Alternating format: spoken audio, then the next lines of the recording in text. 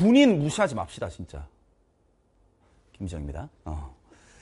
아마 이전 캐스트 영상과 아마 옷이 크게 다르지 않을 것 같은 느낌인데 제가 왜 또 캐스트 영상을 켰냐면 아직 이 6월 평가 모의고사에서 나오는 임팩트가 사그라들지 않을 만한 시점인 것 같아서 그냥 앞으로 문제만 많이 풀면 되는 게 아닌 것이 확정이 된 것 같아서 제가 해드릴 수 있는 얘기는 다시 다시 다, 다 해드려야 될 것 같아서 다시 한번 영상을 켰고요. 아니 근데 여러분들 봐. 이거 지금 교육 영상입니다, 여러분들. 이게 여러분들도 느끼는지 모르겠지만은 유독 이 모르겠어요. 이 대한민국에서는 군인에 대한 어떤 시각이 그렇게 상대적으로 그렇게 막 긍정적이거나 이런 게 많이 느껴지지 않는 것 같아. 난 그게 너무, 너무너무 안타깝거든. 아니, 정말 사라져야 되는 용어 중에 하나가 무슨 뭐, 뭐, 군발이. 뭐 무슨, 뭐, 하여튼 뭐 등등등. 정말 나는 그거는 좀 아니었으면 좋겠다는 생각이 드는데, 어, 여러분들 진짜 뭘 보면은 이게 진짜 우리가 상대적으로 군인에 대한 어떤 자꾸 이렇게 좀, 아, 왜 이렇게 이들이 없으면 우리는 살 수가 없, 없는데 자꾸 왜 이럴까라는 걸 느낄 수 있냐면 저 같은 경우는요. 저도 이제 군대 갔다 왔고 피디님도 군대 다 갔다 왔지만은 음 저는 좀 이제 운이 좋게도 어, 초반 기초훈련 기초훈련은 이제 논산에서 똑같이 받았고 근데 이제 저는 미군 부대에 근무를 할 수 있게 되었었어요. 뭐 소위 카투사라고 부르는 거. 또 얘기하면은 또 이제 카투사가 군대입니까? 뭐 갔다 오고 얘기해라. 갔다 오고. 어, 상대적 개념으로 봤을 때 제가 뭘 정말 저, 처절하게 느꼈냐면 야, 이 군인을 바라보는 시각이 미국 일반 시민들이 군인을 바라보는 시각이랑 너무나도 다르다. 라는 생각을 정말 많이 해요. 정말 여러분들 모르겠어요. 이게 미국이 다 좋다는 건 아닌데 그런 면은 정말 본받을 만한 것 같아, 진짜. 구, 그러니까 뭐, 이 예우의 느낌이랄까. 아, 진짜 이 스포츠 경기나 이런 것만 봐도 얘들아, 군인들이 얼마나 칭송받고 얼마나 존경받는지도 알 수 있고. 뭐 이런 것들이 곳곳마다 좀 있거든요. 그러니까 유독 우리가 좀 이래. 자, 근데, 자, 이거 학습 영상이라 그랬어. 내가 왜 이 소재를 지금 끄집어내고 있냐면, 우리도 학습에 있어서 약간 이런 면이 없지 않냐는 거야.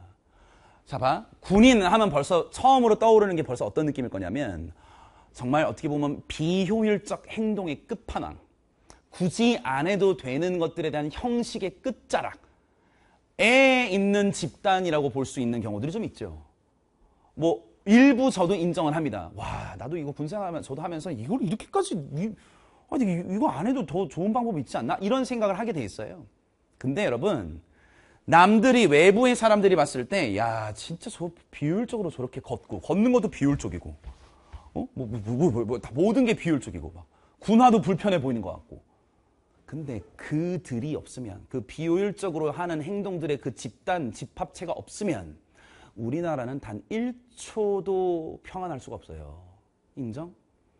그들이 존재하기 때문에 우리가 눈에 보이지는 않지만 엄청난 프레임이 딱 잡히는 거야. 언제든지 이런 상황이 있을 때는 이렇게 행동해야 된다라는 어떤 프로토콜이라 그러나? 루틴이 있는 이런 게 있어야 우리나라가 자유로운 부분들도 돌아간다고. 자, 이게 내가 너네들한테 하고 싶은 메시지야. 비효율적으로 보여지는 행동들을 제대로 한동안 하지 않으시면 자유로운 무언가를 우리는 할 수 없다고. 너 공부 이 6월 평가한 이후로는 자유롭게 문제를 많이 풀면 되겠다라는 생각은 이제 버리자.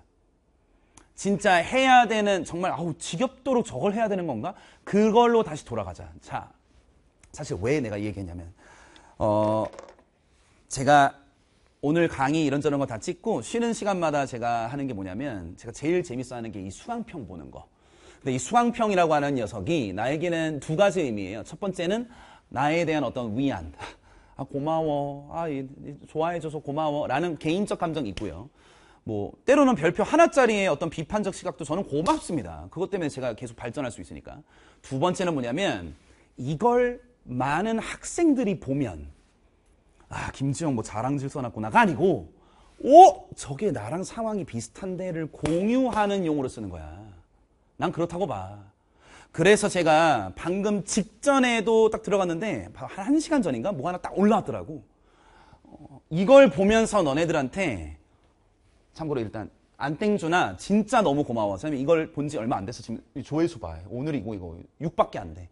보면서 내가 와 이건 진짜 많은 친구들이 똑같은 동질감을 좀 느꼈으면 좋겠고 여기서 얻을 수 있는 교훈이 있었으면 좋겠다라는 걸 생각하다가 나온 게 저거야. 우리 캐스티가. 자, 제가 다 읽어드리진 않겠지만 그냥 포인트만 말씀드릴게요. 이 친구가 이제 이번 6평 아주 간단간단하게 잘 본 친구인데 잘했고 뭐 이런저런 저런 얘기 이렇게 쭉 나오다가 음 여기. 아, 아니 아니. 어디지? 아이 있다 여기 있다. 봐봐. 어, 뭐 기준 설정이 습관화될 수 있다고 저러저러 이렇게 얘기했는데 자 여기요 어, 순서 배열이나 문장 삽입에서 군인처럼 딱 딱 체계적으로 어떻게 행동해야 되는가를 훈련을 할 수 있었다. 제일 중요한 말 딱딱. 너무 자유로운 게 아니어야 된다니까 이제 여러분들 딱 딱 정해진 연습을 해야 돼. 그 안에서의 자율성을 맛봐야지. 또 문장 삽입에서도 접속사 지시사에서 어떻게 착착 이거 착착 이런 걸 훈련을 할 수 있었습니다 라고 했단 말이에요. 이 친구 군대 아직 안 갔다 왔을 것 같은데 이런 용어들을 좀 쓰네. 근데 이 친구도 밑에 제가 진짜 깜짝 놀란 게 뭐냐면 첫 번째 겸손하게 한 거야. 여러분들 군인들은요 다 겸손해요. 내가 뭐, 뭐, 뭐 사격을 좀 더 잘하지 한다고 해서 뭐 크게 뭐 그것 때문에 뭐 대단한 뭐 휴가를 받을 수는 있겠지만 그것 때문에 뭐 삶이 완벽하게 달라지고 그렇지 않아. 근데 항상 겸손하게 다시 처음부터 했던 걸 또 한단 말이야. 제식 훈련 맨날 하는 거 또 해요. 그 겸손한 태도로 얘가 훈련장처럼 책을 공부한 거야. 팔짱 끼고 공, 팔, 팔짱, 팔짱, 아유, 바로 뭐 이러냐.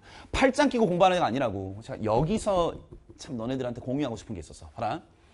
제가 개인적으로 제 모든 교재와 제 개인 모의고사의 선지에 대해서는 제가 진짜 정말 압도적 노력을 하려고 노력하는 사람인데 그걸 보면서 얘가 평가원이 선지를 만드는 방법은 이렇다라는 걸 깨달았다는 얘기 있었고 그 다음에 어떻게 평가원이 장난질을 쳤는지도 예측할 수 있을 정도까지 왔고 저 따라하려고 계속 노력하고 노력하고 노력하고 노력하고 노력했는데 문제는 저는 이거야. 이거 봐라. 저의 책임 노트에는 3년 동안 31개의 선지 문장을 써두었고 평가 문제나 사설 문제를 할 때도 이 데이터를 넘지는 않았습니다. 이거 말하고 싶은 거예요. 제가 이것 때문이었어요. 과연 여러분들 중에 나한테 아깝게 아 이것만 잡았으면 맞출 뻔했었던 선지나 아 요걸 못 봐서 틀렸네라고 하는 그런 선지들을 모아 놓으려고 하는 이런 남들이 봤을 때 비합리적인 이런 행동들을 하신 분들이 몇이나 될까?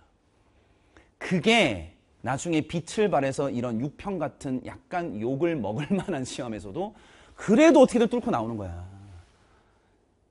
군인들이 잘하는 게 뭐예요? 생각지도 않았었던 상황에 맨날 하던 대로 행동하면서 대비할 수 있어요. 전쟁이 어떻게 날지 어떻게 알아요? 육평이 이렇게 나올 줄 누가 알았어요? 근데 하던 대로 그냥 하는데 완벽하진 않지만 최대한 나의 원했었던 것까지 내가 확보할 수 있지. 난 이네들한테 이런 걸 말하고 싶은 거야. 제발. 그러면서 밑에 역시 응? 개처럼 공부했으면 좋겠다라는 내 말을 이 친구는 너무 잘 지켜준 것 같아서 그랬는데 다시 한번 감사의 말씀드릴게. 이건 안 땡주나, 어, 땡주나 정말 너무너무너무 고마워. 이건 진짜 많은 친구들이 뭐 제 수업을 듣거나 안 듣거나 떠나서예요. 본인들이 선택한 강사분의 수업을 이 정도의 자세로 지금 들으면서 뭔가를 말하고 있는지를 검토해야 될 시기가 와서 그래요.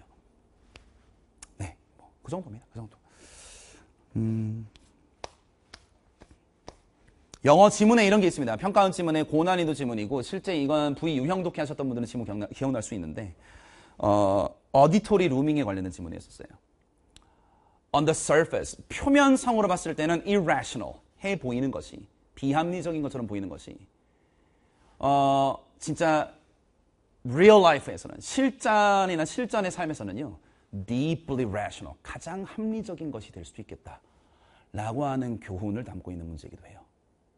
우리 군인 무시하지 말고, 마치 나도 군이 되는 것처럼 착착, 착착, 지겨울 정도까지 돼서 의도치 않은 것들도 내가 대비할 수 있는 그 내부에서의 자율성을 한번 느껴봅시다.